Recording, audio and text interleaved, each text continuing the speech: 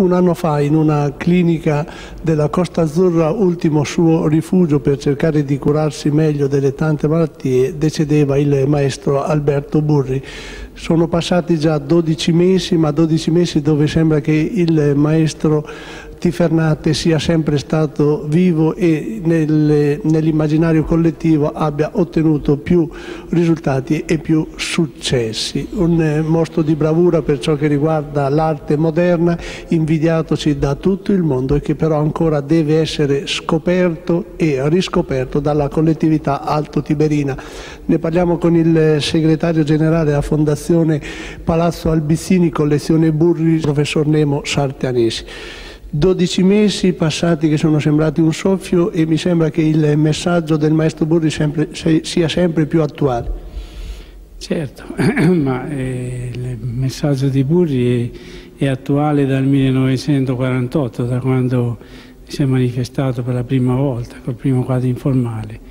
È rimasto poi un crescendo anche perché eh, il maestro non è mai stato e, e non ha avuto mai momenti di, eh, di calo, diciamo così.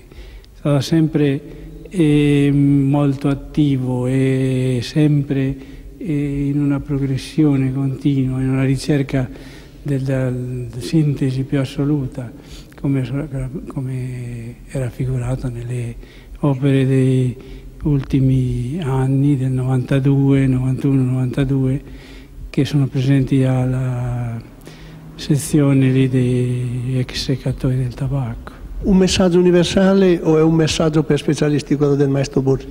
Ma tutti i messaggi in un primo momento eh, sono, quando escono sono per, per, specialisti, poi piano piano piano piano eh, cominciano a entrare anche nella grande massa di fruitori proprio perché eh, essendo un messaggio valido è sempre universale non è mai una cosa che abbia una valenza regionale o, o nazionale, insomma, no. È un messaggio come tutti i messaggi veri eh, di arte vera che non hanno mai limiti né barriere.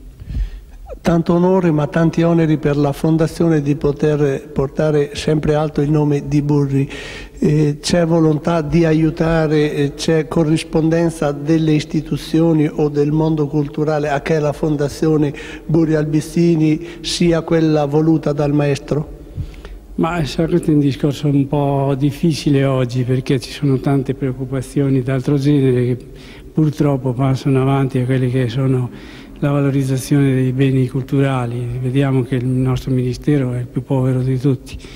Nei toto ministri non compare mai neanche, insomma, quindi il, eh, il conto in cui si tiene questo Ministero è, è minimo. Mentre invece potrebbe essere la vera ricchezza per l'Italia. Eh, dovrebbe essere la vera ricchezza, ma che te, eh, si fa ragionamenti diversi, non so, io me ne intendo insomma, di queste cose qui.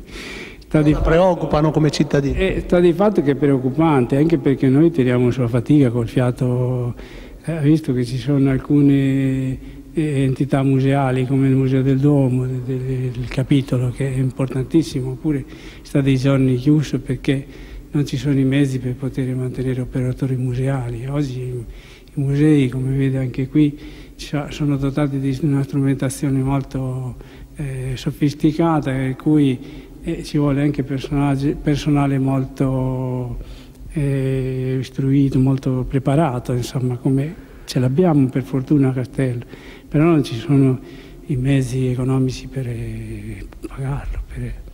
Quindi un Burri sempre più patrimonio di tutti, però eh, tante preoccupazioni affinché questo patrimonio sia godibile e sia goduto. E di fatto il nostro sforzo è stato quello di farlo sempre, tenerlo sempre aperto, sempre visibile, perché il compito primario di una mostra è quello che naturalmente che, che sia possibile essere veduta, essere valutata, altrimenti non ha nessun valore, è un bene morto.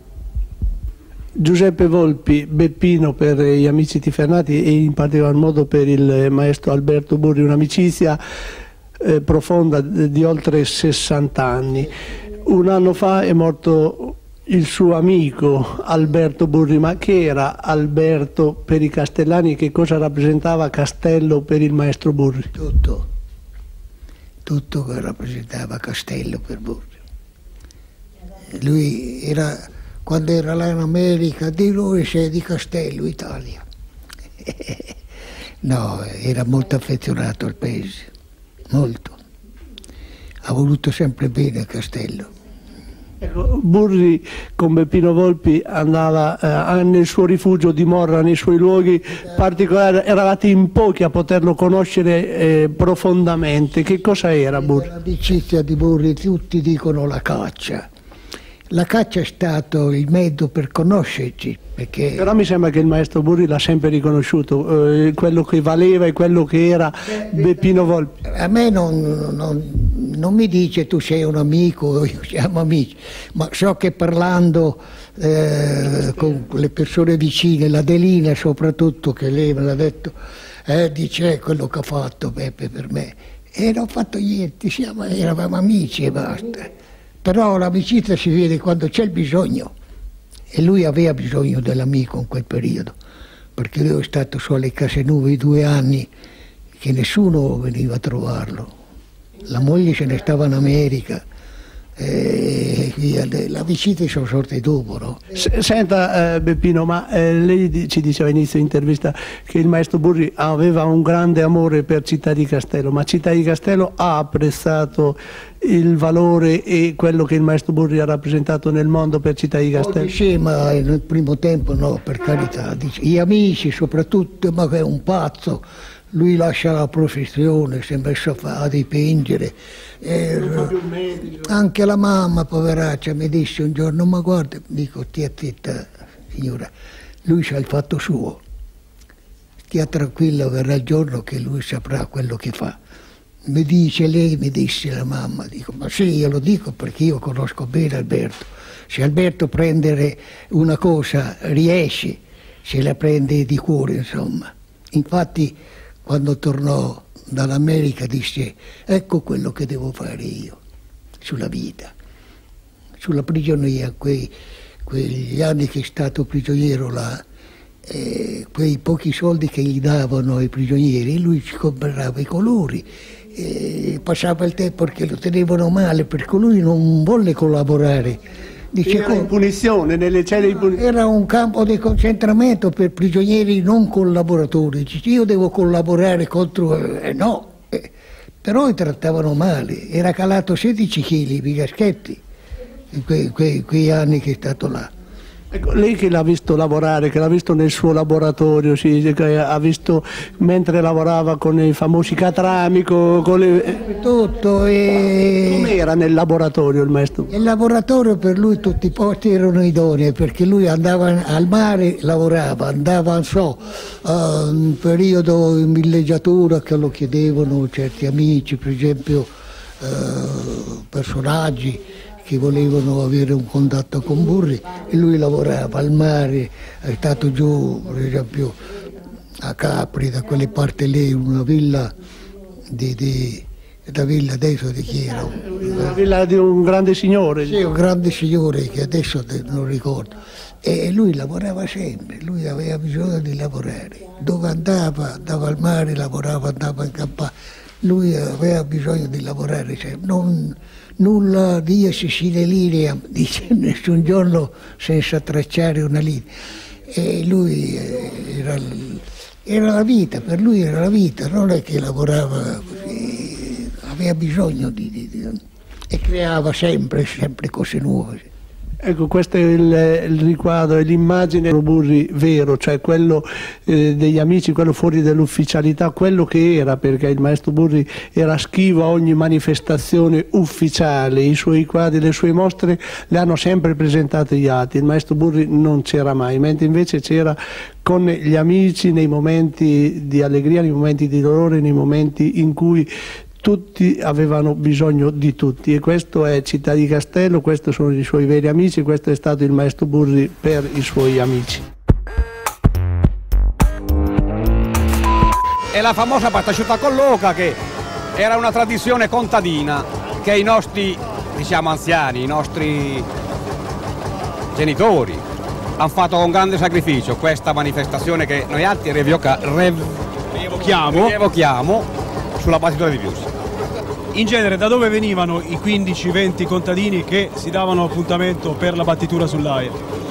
Si, faceva scambio con i vicini, con i poderi vicino, c'era famiglie numerose una volta, non è come ora che Diciamo che la battitura era anche una forma di collaborazione fra contadini. eh, di trovarsi assieme fra dei vicini, fra eh, dei, dei- dei amici, no?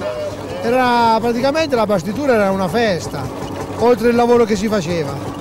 Era la festa perché, diciamolo francamente, nel giorno della battitura si raccoglievano i frutti di un anno intero. Era, era per il contadino, era un anno di lavoro che eh, chiudeva tutta la stagione dell'anno praticamente, che faceva il pane per tutto l'anno. Immagino che lei qualche anno fa, quando ancora esisteva questa tradizione della battitura che viene riproposta oggi nella maniera più fedele possibile, lei fosse ancora ragazzino. Che cosa ricorda di quei giorni? Io eh, coltivavo quando, perché io vado al contadino fino a che ho 16-17 anni, no? E, e già del cambio coltivavo sulle aie per dargli una mano perché, perché facevano 5, 6, 7 notti per fila, no? E allora toccava cioè, la mia, la mia. Che valore, poteva, che valore poteva avere per un ragazzino di 15-16 anni poter occupare una parte attiva nell'operazione della battitura? Da bambino era una cosa eccezionale perché ci si radunava i cugini, i parenti, cose, e si dormiva, si cosava, si faceva i giochi. E dopo da grande diventa più impegnativo, però è sempre be- eh, bello, una cosa bella, bella, bella.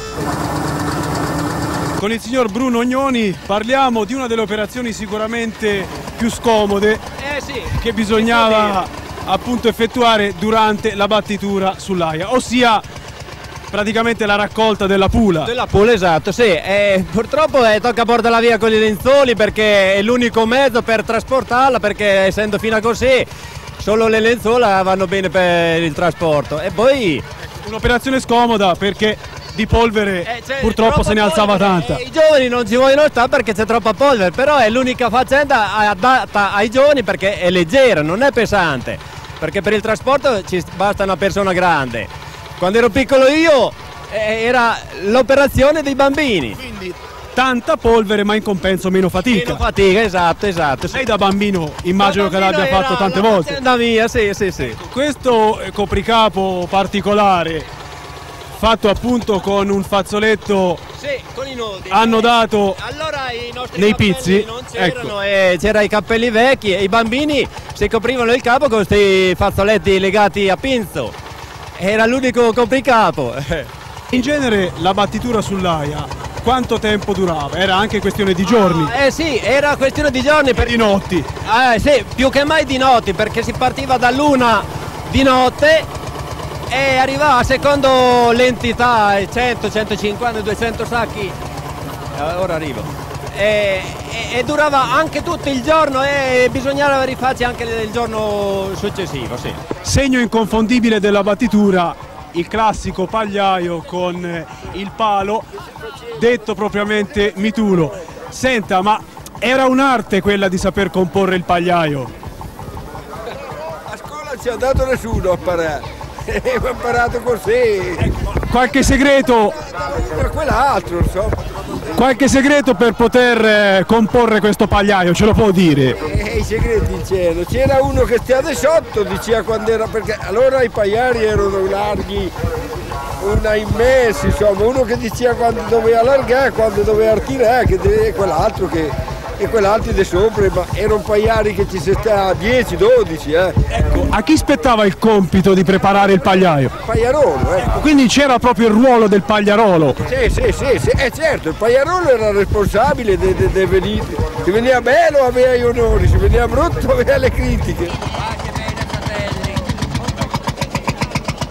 Uno dei personaggi classici che animavano la battitura di un tempo era appunto il frate che arrivava ad un certo punto. Qual era lo scopo di questo arrivo del frate? Radunare un po' di grano per il monastero. Eh, facevo tutto il giro, vengo da molto lontano, se vi dà qualche cosa, c'è il fattore, c'è il contadino, Dio li benedica, buona battitura. Il frate in compenso distribuiva il santino o il ricordino. ricordino. Lasciavo tutte queste cosettine Grazie. in modo che se mi davano qualche cosa. Ecco, noi ringraziamo per questo pensiero il frate.